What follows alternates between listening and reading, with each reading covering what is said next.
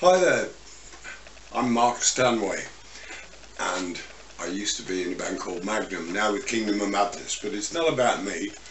Um, but I'm delighted to have been asked to just make a little film, a film, a little clip about this album. This is by a great friend of mine called Khalil Turk, aptly named Turkish Delight.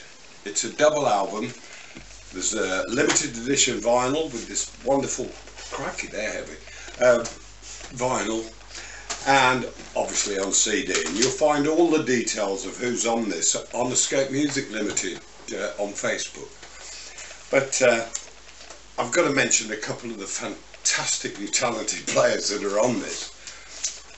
Might as well start with me.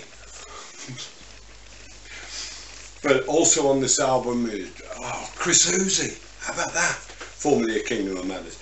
And uh, Steve Overland from FM, Jim Kirkpatrick from FM, Billy Sheehan from just about everyone from Dave Lee Roth all the way up to Mr. B, the guys from Kansas, fantastically talented Swedish guy called Tommy Denander who I've worked with before. This is a fantastic package. Thank you Carlisle for sending it me. I've listened to the CD and I tell you what, every track is bang on. I thoroughly recommend it. Turkish Delight, Escape Music. Go get it.